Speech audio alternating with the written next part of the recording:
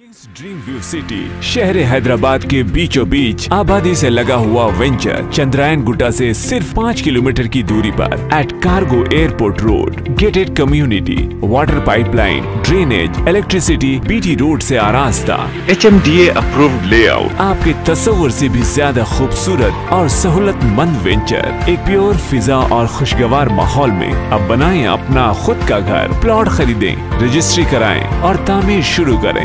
PS अज़ीज़।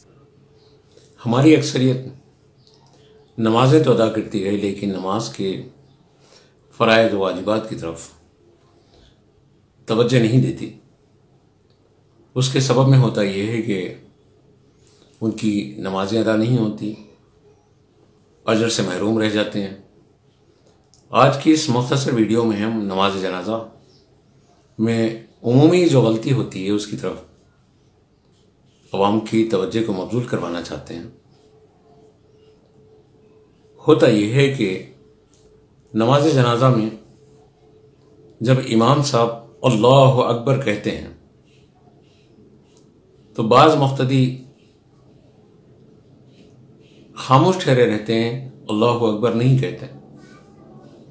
तकबीर तहरीमा तो वो बाँध लेते हैं, लेकिन ज़ुबान से अल्लाह अकबर के अल्फाज अदा नहीं करते। ज़ुबान से मुख्तदी को भी इमाम साहब के तकबीर तहरीमा कहने के बाद अल्लाह अकबर कहना है। और कम से कम इतनी आवाज़ में अल्लाह अकबर कहना है कि उसके अल्फाज वो खुद सुन लें। जब जब, यानी चार मरतबा इमाम साहब अल्लाह अकबर कहें तो मुख्तदी भी इमाम साहब के साथ अल्लाह अकबर। वो कहें, ऐसा कहना उस पर वाजिब है। और नमाज़ जनाजा में जो कुछ पढ़ा जाता है, अस्कार नमाज़, वो सब सुन्नत है। उमन लोग इससे गाफिल हैं। करते ये हैं कि इमाम साहब ने कहा, अल्लाह अकबर, हाथ उठाए और फिर बाँध लिए। और जब जब इमाम साहब ने अल्लाह अकबर कहा तो बाज नादान अपने चेहरे को आसमान की तरफ़ उठाते रहते। ये बेअसल अमल है, आसमान की तरफ़ चेहरे को उठाना या मुंडी को उठाना। अल्लाह अकबर कहना ये वाजिब है। इमाम साहब के अल्लाह अकबर के कहने के साथ ही मुख्तदी को भी अल्लाह अकबर कहना है। पहली मरतबा जब इमाम साहब अल्लाह अकबर कहें मुख्तदी भी आहिस्ता से अल्लाह अकबर कहें और सना पढ़ें।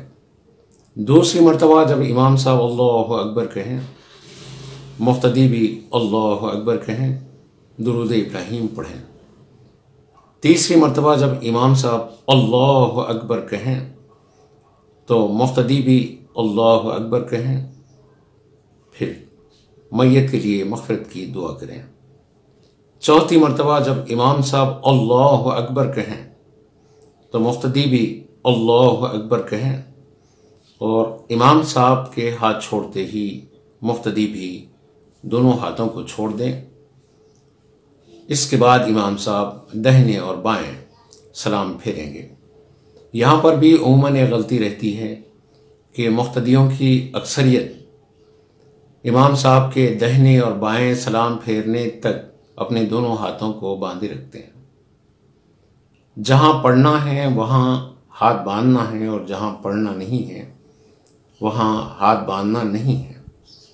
इसलिए चौथी तकबीर के बाद कुछ पढ़ना नहीं है, इसलिए हाथ छोड़ देना है।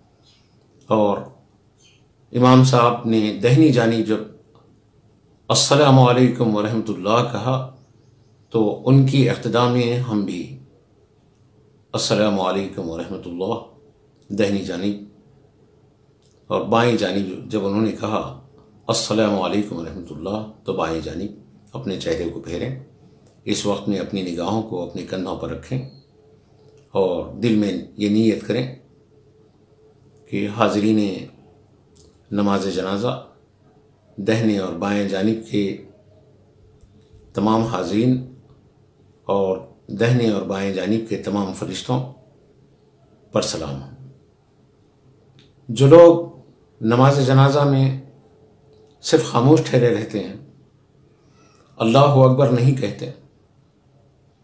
यानी इमाम की इख्तदा में वो चार मरतबा अल्लाह अकबर नहीं कहें तो उनकी नमाज़ जनाजा अदा नहीं होती। इसलिए इस बात को पूरी तवज्जो के साथ जहन में रखें। अगर असकार नमाज़ याद नहीं है, यानी सना याद नहीं है, दरूद इब्राहिम याद नहीं है, या मगफरत मैत की जो दुआ है वो याद नहीं है और किसी ने नहीं पढ़ा है, बावजूद इसके अगर वो शरीक जमात है और चार मरतबा इमाम की इख्तदा में, अल्लाह अकबर अल्लाह अकबर अल्लाह अकबर की तकमील कर ली और इमाम के साथ उसने सलाम फिर लिया। तो वाजिब तो अदा हो गया तर्क सुन्नत का उसके ऊपर सिर्फ़ गुना